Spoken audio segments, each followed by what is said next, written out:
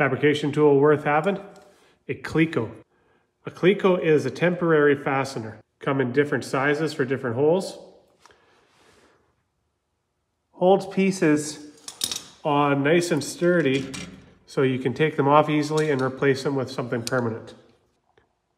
Has a specialty wrench. Simply push, it extends and pulls itself tight, holding pieces of metal together.